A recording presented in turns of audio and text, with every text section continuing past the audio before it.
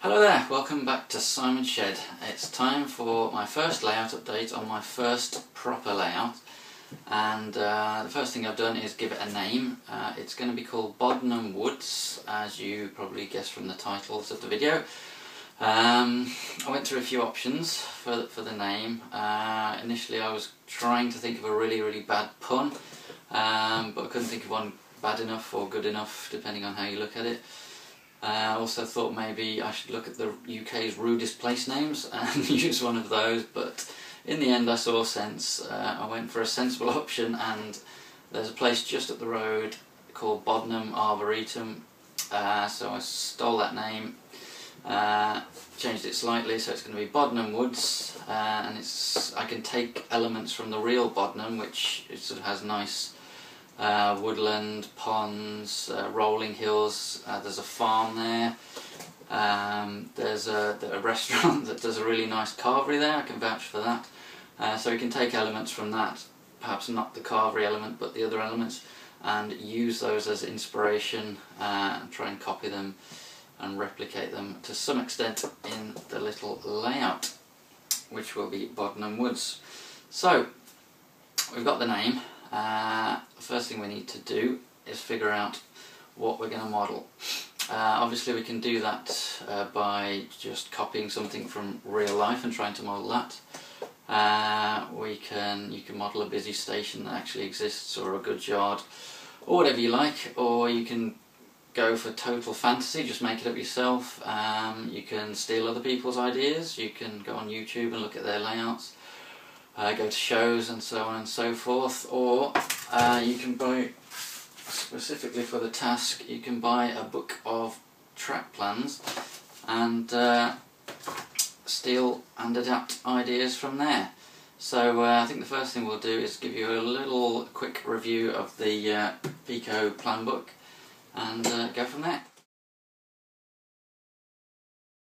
So here it is, the Peco Set Track N Gauge Plan Book.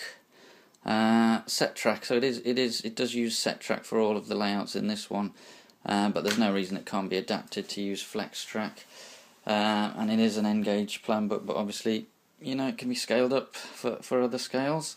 Uh, so let's just give you a quick look at this. Uh, it sort of takes you through right from the start. There's an introduction into what uh, you need to do in terms of different ways of constructing baseboards and ideas on where you can actually fit your layout, how it can fold up, and such and such, and some inspiration as to what you might be able to achieve or not. Um, obviously, not going to go through the whole thing, but there's some useful information on basic sort of rail formation in terms of runaround loops and shunting. And they suggest how you should lay the track. Uh, yeah so baseboard construction. A bit about wiring. So starting right from the start. Obviously they're going to mention the Peco accessories as it is a Peco book.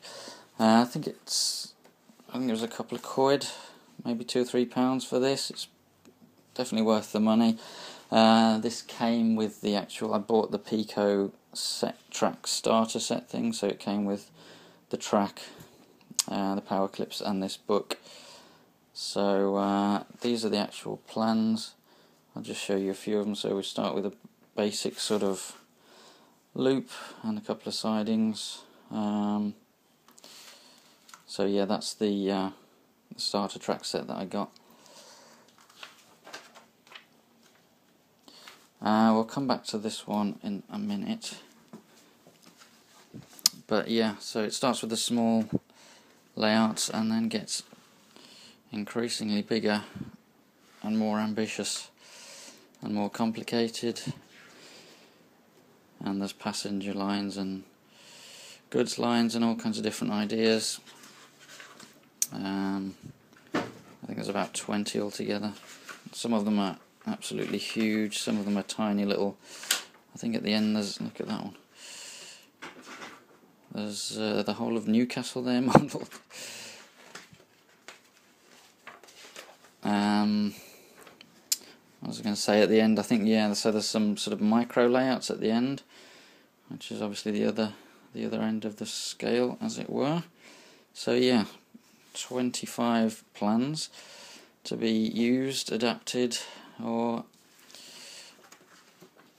whatever you like, really. So yeah, I was looking through this, and I decided to keep it simple and basically use the first or a variation on the first plan in the book.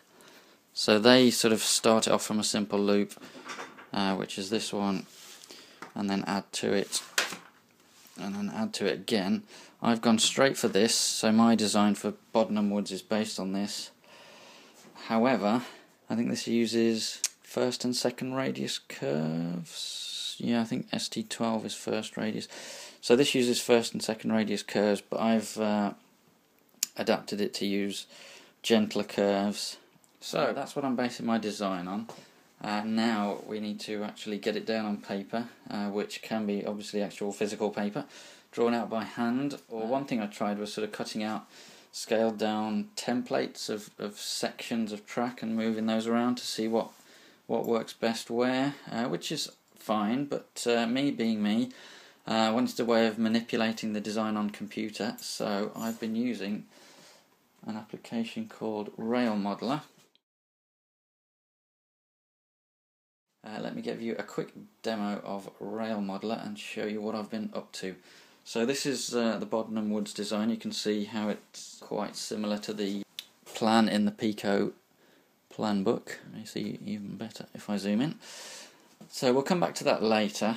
Let me first give you a very quick overview on what Railmodeller does. So this is your this is your baseboard.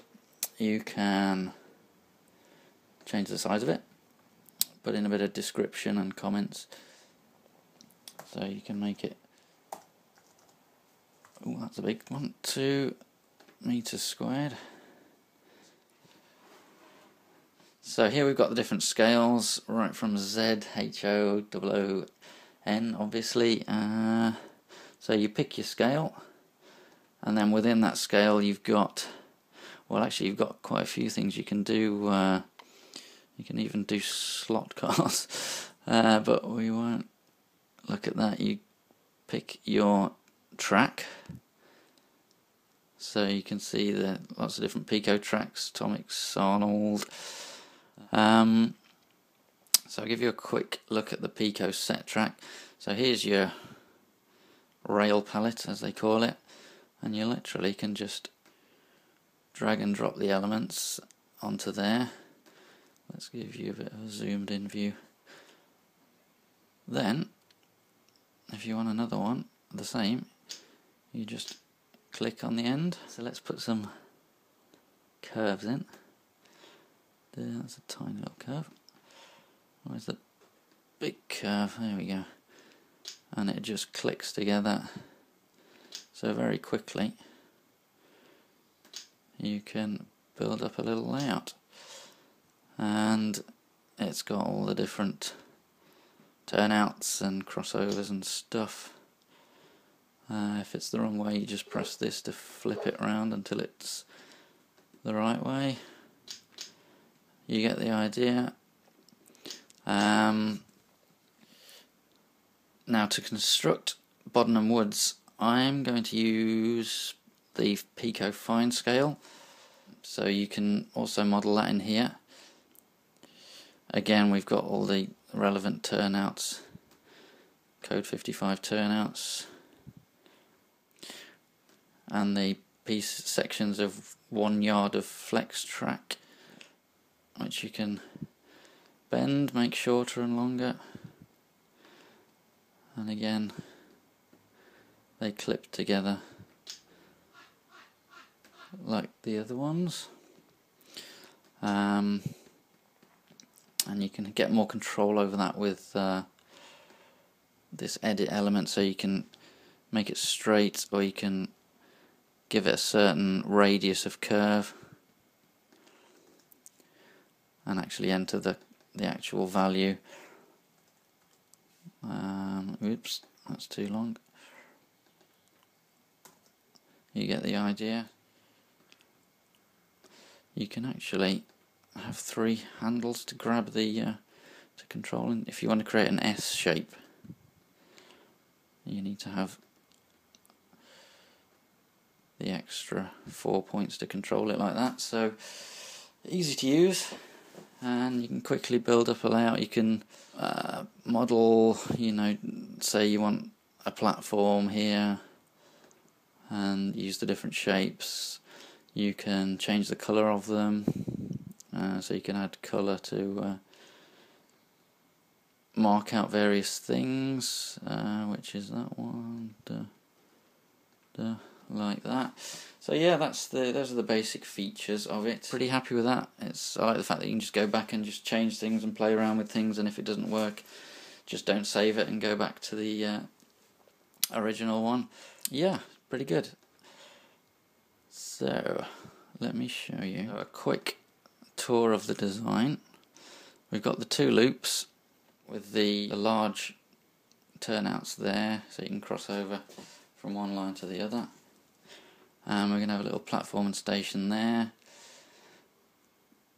Houses, possibly something there, maybe farm buildings or uh, some kind of buildings. The the actual scenery that's sort of stated on here is completely subject to change, really.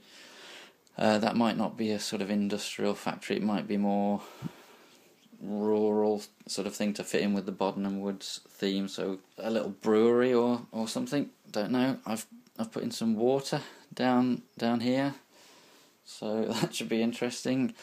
Uh, but yeah, the scenery and, and some kind of bridge or tunnel over here to get the road over there.